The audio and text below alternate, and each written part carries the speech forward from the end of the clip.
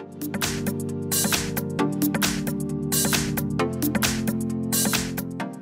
Hi everyone, here we've got Xiaomi Redmi Note 9T and let me share with you how to change the keyboard language on this device.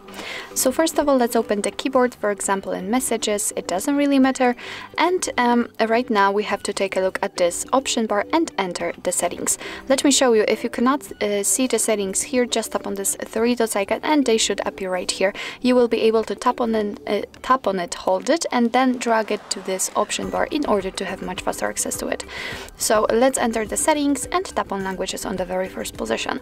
And as you can see here we've got the list of added languages, we've got only English right now, so Let's tap on add keyboard and as you can see we've just been transferred to the full full full full list of all available uh, languages from which we can choose. We've got plenty of options to choose from so I'm uh, sure that you will find the language you would like to type in and um, all you have to do is to simply tap on the language you would like to set.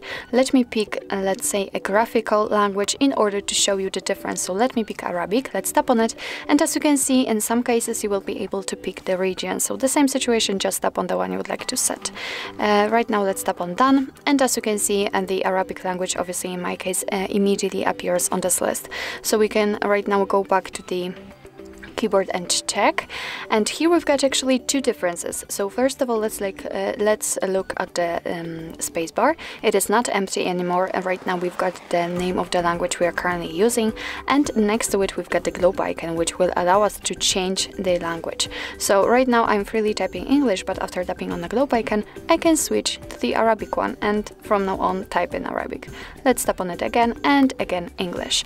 So uh, as you can see it's quite easy and this is how to add the language to a keyboard. Let me show you how to remove it because sometimes you do not need two uh, different languages added. So let's enter the settings again, let's tap on the languages and here from this step we just have to tap on this pencil icon in the right upper corner. Right now we have to mark the language we would like to remove and in my case it will be obviously Arabic so let's tap on it and pick this trash bin icon. As you can see it immediately disappears so it looks like it was before at the very first step of adding in the language and after getting back to the keyboard you can see that the spacebar is empty and uh, we've got no globe icon so it means that we can only type in English in my case.